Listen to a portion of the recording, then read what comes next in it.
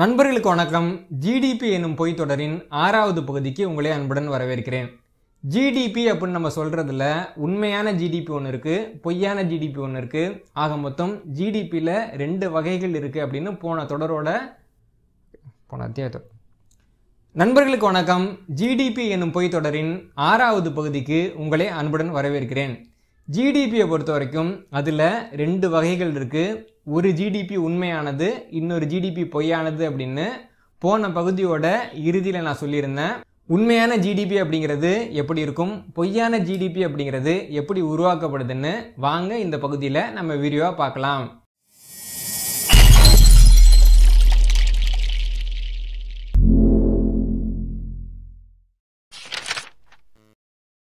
ஜிடிபியில் nominal GDP real GDP அப்படின்னு ரெண்டு வகைகள் இருக்குது அதென்ன நாமினல் ஜிடிபி அதென்ன ரியல் ஜிடிபி அப்படின்னு கேட்டிங்கன்னா ரொம்ப எளிமையான ஒரு உதாரணம் மூலமாக உங்களுக்கு சொல்கிறேன் இப்போ வந்து ஒரு தொலைக்காட்சி தயாரிப்பு நிறுவனம் இருக்குதுன்னு வச்சுப்போம். அவங்க வந்து அவங்க தொலைக்காட்சி பெட்டியை பத்தாயிரம் ரூபாய்க்கு விற்கிறாங்க அப்படின்னு வச்சுப்போம். அப்படி இருக்கிறப்போ அவங்க வந்து முதலாவது ஆண்டில் மொத்தமாக பத்து தொலைக்காட்சி பெட்டியை ஒரு பெட்டி பத்தாயிரம் ரூபான்னு விற்கிறாங்க அப்போது அந்த ஆண்டில் அவங்க ஜிடிபி அப்படிங்கிறது ஒரு லட்சம் ரூபாய். அதே சமயம் அதற்கு அடுத்து வந்த ஆண்டுலேயும் அவங்க பத்து தொலைக்காட்சி பெட்டி தான் விற்கிறாங்க ஆனால் இந்த முறை ஒரு தொலைக்காட்சி பெட்டியோட விலை அப்படிங்கிறது பத்தாயிரம் ரூபாய் அப்படிங்கிறதுக்கு பதிலாக பதினோராயிரம் ரூபாய் அப்படின்னு அவங்க விலையை மட்டும் கொஞ்சம் ஏற்றி விற்கிறாங்க அப்படின்னா அந்த நிறுவனத்தினுடைய வருமானம் அப்படிங்கிறது ஒரு லட்சம் ரூபாயிலேருந்து ஒரு லட்சத்து பத்தாயிரமாக அதிகரிச்சிருக்கும். அந்த நிறுவனத்தால் ஏற்பட்ட ஜிடிபி அப்படிங்கிறதும் ஒரு பத்தாயிரம் ரூபாய் அதிகரிச்சிருக்கும். இப்போ இவங்க எந்த ஒரு பொருளையுமே கூடுதலாக உற்பத்தி பண்ணவே இல்லை. எந்த ஒரு டிவியையும் கூடுதலாக விற்கவும் இல்லை. அப்படி இருக்கிறப்போ இவங்க ஜிடிபி மட்டும் உயர்ந்திருக்கு இல்லைங்களா? இதுக்கு தான் நாமினல் ஜிடிபி அப்படின்னு பேர். இந்த ஜிடிபி உயர்வு மக்களுக்கு மிக எதிரானது. அதே மாதிரி இன்னொரு தொலைக்காட்சி தயாரிக்கிற நிறுவனம் இருக்குது அவங்க வந்து முதலாவது ஆண்டில் ஒரு தொலைக்காட்சி பெட்டி பத்தாயிரம் ரூபாய் அப்படின்னு வச்சு ஒரு பத்து பெட்டி விற்றுருக்காங்க ஒரு லட்ச ரூபாய் வந்து அவங்க ஜிடிபி பார்த்துருக்காங்க. ஆனால் அதுக்கு அடுத்த வருஷம் அவங்க என்ன யோசிக்கிறாங்கன்னா விலை அதிகமாக இருக்கிறதுனால பொதுமக்கள் வாங்க முடியல. அதனால் விலையை குறைப்போம் அப்படின்னு முடிவு பண்ணி ஒரு தொலைக்காட்சி பெட்டியோட விலை எட்டாயிரம் ரூபாய் அப்படின்னு விலையை குறைச்சி அவங்க விற்கிறாங்க அதன் மூலமாக அவங்க விற்பனை அதிகரித்து பத்து தொலைக்காட்சி பெட்டிக்கு பதிலாக ஒரு பதினஞ்சு தொலைக்காட்சி பெட்டி விற்குது அப்படின்னு வச்சுட்டோம்னா இப்போ அவங்களுடைய ஒட்டுமொத்த ஜிடிபி அப்படிங்கிறது ஒரு லட்சத்து இருபதாயிரம் ரூபாய். இங்கே இந்த இருபதாயிரம் ரூபாய் அப்படிங்கிற ஜிடிபி உயர்வு இருக்குல்ல அந்த ஒரு லட்ச ரூபாயிலேருந்து ஒரு லட்சத்து இருபதாயிரம் ஆன அந்த உயர்வு அப்படிங்கிறது நியாயமான முறையில் நடந்திருக்கு. கூடுதலாக வந்து அஞ்சு தொலைக்காட்சி பெட்டிகள் வந்து கூடுதலாக உற்பத்தி ஆகிருக்கு அஞ்சு பேர் வந்து கூடுதலாக பயனடைஞ்சிருக்காங்க. இப்படி நியாயமான முறையில் ஒரு உற்பத்தி நடந்து உண்மையாகவே யாராவது பயனடைஞ்சு அதன் மூலமாக வந்து ஒரு ஜிடிபி உயர்வு உருவாகி இருந்ததுன்னா அதைத்தான் ரியல் ஜிடிபி அப்படின்னு சொல்கிறாங்க ஆனால் இந்திய பொருளாதாரத்தை பொறுத்த வரைக்கும் இந்தியாவில் இன்னைக்கு பொருளாதார உயர்வு ஜிடிபி வளர்ச்சி அப்படிலாம் சொல்லிகிட்டு இருக்கோம் இல்லைங்களா? இதில் பெரும்பங்கு நாமினல் ஜிடிபி தான் ரியல் ஜிடிபி கிடையாது. இந்த நாமினல் ஜிடிபி அப்படிங்கிறது எந்த மாதிரி அப்படின்னு பார்த்தீங்கன்னா இப்போ டீ கடையில் போயிட்டு எனக்கு வந்து ஒரு கிளாஸ் நிறைய டீ கொடுங்க அப்படின்னு கேட்டால் அவங்க டீயை வந்து நல்லா ஆற்றி தருவாங்க. இப்படி ஆத்துறதன் மூலமாக டீயோட அளவு அதிகரிக்குமா அப்படின்னா டீயோட அளவு அதிகரிக்காது. அதற்கு மாறாக டீ மேலே நிறையா நுரம் வந்து பார்க்குறதுக்கு அந்த கண்ணாடி கோல்ல நிரம்பின மாதிரி நமக்கு தெரியும். அந்த நுரையை நீங்கள் குடிக்க போகிறீங்களா குடித்தா பசியாருமா? அது எதுக்காவது உதவுமான்னு பார்க்க போனால் எதுக்கும் உதவாது. ஆனால் பார்க்குறதுக்கு அந்த கண்ணாடி வந்து நிரம்பி இருக்கிற மாதிரி ஒரு தோற்றத்தை தரும். அந்த நுரை வந்து அங்கே என்ன வேலை பண்ணுதோ அதே வேலையை தான் பொருளாதாரத்தில் நாமினல் ஜிடிபி அப்படிங்கிறதும் பண்ணுது. இந்த நாமினல் ஜிடிபி உயர்வு அப்படிங்கிறது எதுக்குமே ஒரு உதவாத உயர்வு அப்படின்னு தான் சொல்லணும். இன்னொரு வகையில் பார்க்க போனால் இது மக்களுக்கு எதிரான ஒரு ஜிடிபி வளர்ச்சியாகவும் இருக்குது இதுக்கு வந்து இன்னும் எளிமையான ஒரு உதாரணம் பார்க்கணும் அப்படின்னா ஒரு பத்து வருஷம் முன்னாடி சென்னையில் பெரும்பாலான இடங்களில் பார்க்கிங் கட்டணம் அப்படிங்கிறதே கிடையாது. அப்படியே பார்க்கிங் கட்டணம் அப்படின்னு ஏதாவது ஒரு வணிக வளாகத்தில் அரசாங்கமே போட்டாங்க அப்படின்னா கூட ரெண்டு ரூபா அஞ்சு ரூபா தான் இருக்கும். பத்து ரூபா பார்க்கிங் கட்டணம் கூட எந்த இடத்துலையுமே கிடையாது. அதற்கு பின்னாடி பார்க்கிங் கட்டணத்தை வசூலிக்கிற பொறுப்பை தனியார்கள்லாம் ஏற்ற பின்னாடி என்ன நடந்தது அப்படின்னா இன்னைக்கு சென்னையில் சில இடங்களில் ஒரு மணி நேரம் நீங்கள் காரை போட்டிங்கன்னா அறுபது ரூபாயிலேருந்து நூற்றி இருபது ரூபா வரைக்கும் ஒரு மணி நேரத்துக்கே அவங்க பிடுங்குறாங்க. இப்போது இந்த பார்க்கிங் கட்டணத்தின் மூலமாக ஏற்பட்ட ஜிடிபி உயர்வை நம்ம பார்த்தோம் அப்படின்னா பத்து ஆண்டுக்கு முன்னாடி பார்க்கிங் கட்டணத்தால் என்ன வருமானம் கிடைச்சதோ அதை விட ஆயிரம் மடங்கு அதிக வருமானம் இன்னைக்கு கிடைச்சிக்கிட்டு இருக்கு. ஆனால் அதே சமயம் பத்தாண்டுக்கு முன்னாடி பார்க்கிங் பண்ணுறதுக்கு எவ்வளவு இடங்கள் இருந்தது இப்போ பார்க்கிங் பண்ணுறதுக்கு எவ்வளவு இடங்கள் இருக்குன்னு பார்க்க போனால் பத்தாண்டுகளுக்கு முன்னாடி இருந்த இடங்களை விட இப்போ இருக்கிற இடங்கள்ங்கிறது பத்து மடங்கு அதிகமாக சுருங்கி இருக்கு. ஒரு உண்மையான ஜிடிபி உயர்வு அப்படின்னா அந்த பொருளோட உற்பத்தியும் உயரணும் அதனால் கிடைக்கிற சேவையும் உயரணும். அதனால் வந்து பயனாளர்கள் கிடைக்கக்கூடிய பயனும் உயரணும். ஆனால் இந்த நாமினல் ஜிடிபியை பொறுத்த வரைக்கும் அதோட உற்பத்தி உயரவே உயராது. சேவையும் அதிகமாக கிடைக்காது. அதற்கு மாறாக குறிப்பிட்ட மக்களை அளவுக்கு அதிகமாக கட்டணம் வாங்கி சுரண்டி கொளுத்து அதன் மூலமாக ஜிடிபி வளர்ச்சி வந்த மாதிரி ஒரு பொய்யான தோற்றத்தை தான் இந்த நாமினல் ஜிடிபி அப்படிங்கிறத உருவாக்கும். இதன் காரணமாக இல்லாத சேவைக்கு கிடைக்காத சேவைக்கு மக்கள் அதிக கட்டணம் கொடுக்கக்கூடிய ஒரு சூழ்நிலைக்கு தள்ளப்படுவாங்க. ஒரு பத்தாண்டுகளுக்கு முன்னாடி பார்த்தீங்க அப்படின்னா கல்வி கட்டணம் அப்படிங்கிறது இந்த அளவுக்கு கிடையாது. ஆனால் இன்னைக்கு வந்து கல்வி கட்டணம்ங்கிறது எங்கேயோ போயிட்டு. அப்போது வெளியில் இருக்கக்கூடிய ஒரு நபர் இந்தியாவோட ஜிடிபியை பார்க்குறப்போ இந்திய மக்கள் வந்து அதிகமாக கல்விக்கு செலவு பண்ணுறாங்க அப்படின்னு தான் அந்த ஜிடிபியில் இருக்குமே தவிர கல்வி நிறுவனங்கள் அதிகமாக பணத்தை வசூலித்து மக்கள்கிட்ட இருந்து பணத்தை திருடுறாங்க அப்படின்னு அந்த ஜிடிபி கணக்கீட்டில் இருக்காது.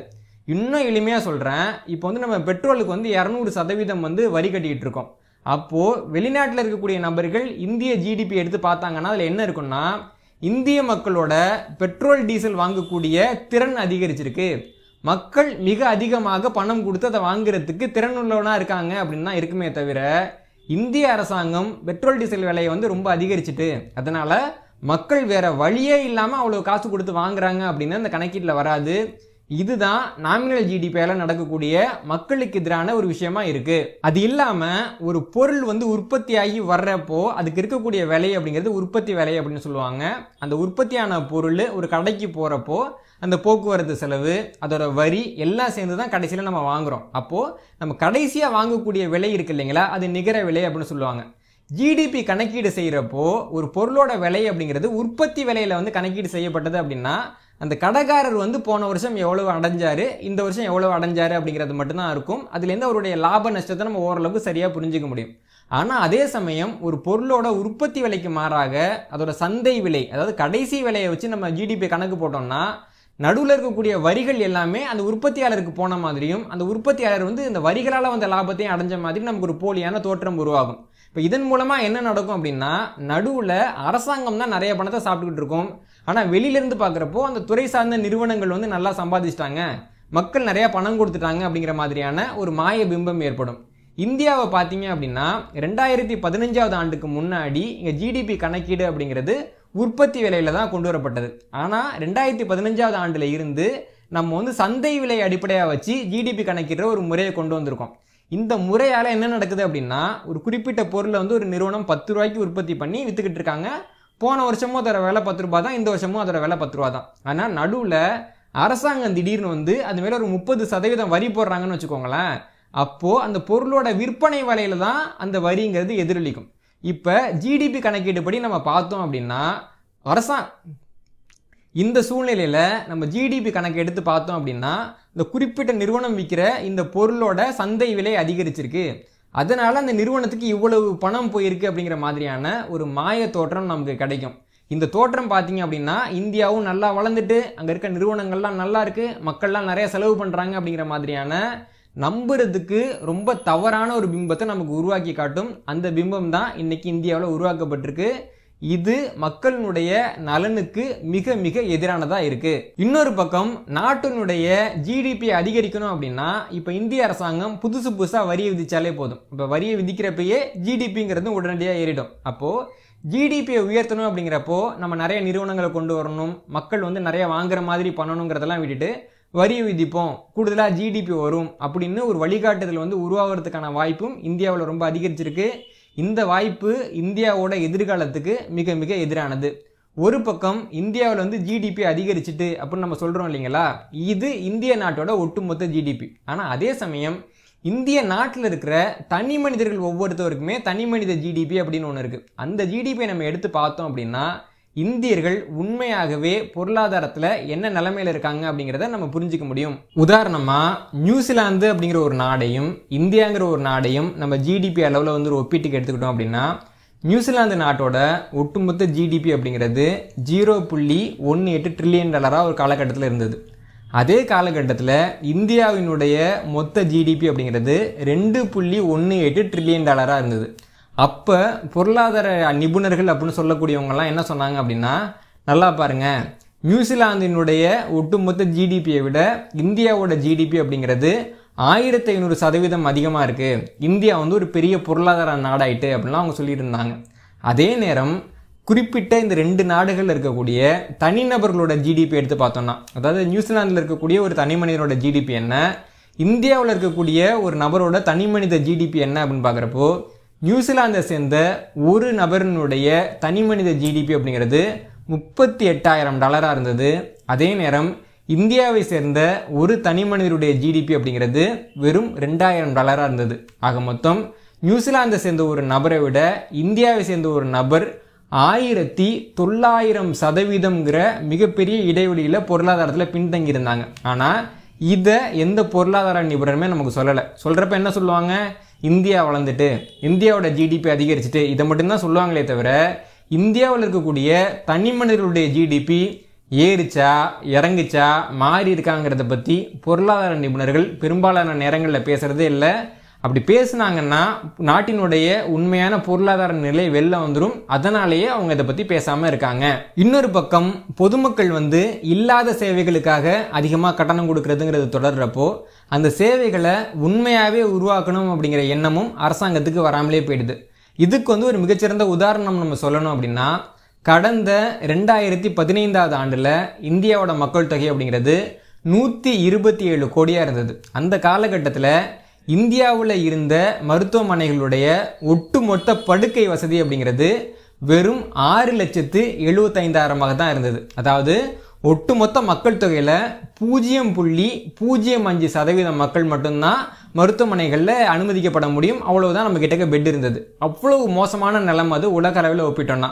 இன்னொரு பக்கம் இந்தியாவினுடைய ஒட்டுமொத்த மக்கள் தொகையில் எழுபது சதவீதம் மக்கள் கிராமங்களில் வசிக்கக்கூடிய மக்கள் தான் இந்த ஆறு லட்சத்து எழுபத்தைந்தாயிரம் படுக்கைகளில் கிராமங்களில் எவ்வளவு படுக்கைகள் இருக்குது அப்படின்னு பார்க்க போனால் வெறும் ரெண்டு லட்சத்து இருபத்தைந்தாயிரம் படுக்கைகள் மட்டும்தான் கிராமத்தில் இருந்தது. ஆக மொத்தம் இங்கேயும் ஒரு மிகப்பெரிய பாகுபாடு இருந்தது. இந்தியாவினுடைய மருத்துவ எதிர்காலமே கேள்விக்குறியாக இருந்த காலகட்டம் அப்படின்னு இந்த ரெண்டாயிரத்தி பதினைந்து காலகட்டத்தை சொல்லலாம். ஆனால் இதே ரெண்டாயிரத்தி பதினைந்தாவது ஆண்டில் இந்திய அரசாங்கம் வந்து ஒரு பட்ஜெட்டை வந்து வெளியிட்டாங்க. அந்த பட்ஜெட்டில் இந்தியாவினுடைய மருத்துவத்துறைக்கு வந்து அவங்க ஒதுக்கீடு பண்ண தொகை அப்படிங்கிறது ஒட்டுமொத்த பட்ஜெட் தொகையில் வெறும் ஒரே ஒரு சதவீதம் தான். இதன் மூலமாக உலக வரலாற்றில் மருத்துவத்துறைக்கு மிக மிக குறைவாக நிதி ஒதுக்கின பட்ஜெட் அப்படிங்கிற பெருமையும் அந்த பட்ஜெட்டுக்கு கிடைச்சது. அந்த பட்ஜெட்டோட விளைவாகத்தான் இப்போ வந்து இந்தியாவில் கொரோனா வர்றப்போ மக்கள் வந்து படுக்கைகளே இல்லாமல் ரெண்டாயிரத்தி இருபதாவது ஆண்டுலையும் ரெண்டாயிரத்தி இருபத்தொன்னாவது ஆண்டுலையும் கொத்து கொத்தாக நாய்கள் மாதிரி இறந்து போனாங்க. ஆனால் நமக்கு இப்படி படுக்கைகள் கிடைக்காம இருக்கிறதுக்கு காரணம் இந்திய அரசாங்கத்தினுடைய நிலைப்பாடு தான் அப்படிங்கிறத புரிஞ்சுக்கிற அளவுக்கு கூட பொதுமக்களுக்கு அறிவு இல்லாமல் போயிட்டு அப்படிங்கிறது தான் அதில் சோகம். இன்னொரு பக்கம் வரி விதித்தா மட்டும்தான் நிறைய வருமானம் கிடைக்கும் அப்படிங்கிற காலகட்டத்தினால இந்திய அரசாங்கம் அனைத்து பொருட்களையுமே வரி விதிச்சாங்க அதாவது பெண்கள் பயன்படுத்தக்கூடிய மாதவிலக்குக்கான பொருட்களில் கூட வரி விதிச்சாங்க இப்போ கொரோனா வந்த காலகட்டத்தில் ஆக்சிஜன் சிலிண்டருக்கு பன்னெண்டு சதவீதம் வரி விதிச்சாங்க அந்த வரியை வந்து குறைங்க அப்படின்னு இந்திய நாட்டில் பல்வேறு இடங்களில் போராட்டம் நடந்தப்போ கூட அந்த வரியை கைவிடாமல் அதை அஞ்சு சதவீதமாக குறைச்சாங்க. அதெல்லாம் நம்ம பார்க்குறோம். இது வந்து இந்த ஜிடிபியினுடைய தவறான முறைகளால் மருத்துவம் அப்படிங்கிற ஒரு துறை எப்படி சீரழிஞ்சது அப்படிங்கிற விவரம் மட்டும்தான். இது போக இந்தியாவினுடைய பல்வேறு துறைகளையும் இந்த தவறான ஜிடிபி கணக்கீடு அப்படிங்கிறது சீரழித்து வச்சிருக்கு. உண்மையிலேயே வளர்ந்து கொண்டிருக்கக்கூடிய உண்மையாகவே செல்வம் கொளிக்கக்கூடிய நாடுகள்லாம் அந்த ஜிடிபி பட்டியலே வராமல் இந்தியா மாதிரி கஷ்டத்தில் இருக்கக்கூடிய நாடுகளை வந்து ஜிடிபி பட்டியலில் முன்னாடி காமிச்சு நம்ம வளர்ந்துக்கிட்டு இருக்கோன்ற ஒரு பொய்யான பிம்பத்தை மக்களுக்கு ஏற்படுத்தி அதன் பலன்களை பல்வேறு நாடுகளும் அறுவடை செஞ்சுக்கிட்டு இருக்கு அப்படிங்கிறது தான் இன்னைக்கு நிதர்சனமாக இருக்கக்கூடிய உண்மையாக இருக்குது இந்த ஜிடிபி கணக்கீட்டு முறையை பற்றி உலக அளவில் இருக்கக்கூடிய சர்வதேச பொருளாதார அறிஞர்கள் அதாவது இந்திய பொருளாதார அறிஞர்கள் மாதிரி இல்லாமல் உண்மையாகவே ஆய்வு செஞ்சு அந்த ஆய்வினுடைய முடிவு என்னவோ அதை அறிவிக்கக்கூடிய தைரியமும் ஆற்றலும் மிக்க உலகத்தின் பல்வேறு பொருளாதார நிபுணர்கள் இந்த ஜிடிபி பற்றி என்ன சொல்லியிருக்காங்கங்கிறத பற்றி வாங்க அடுத்த பகுதியில் நம்ம பார்க்கலாம்.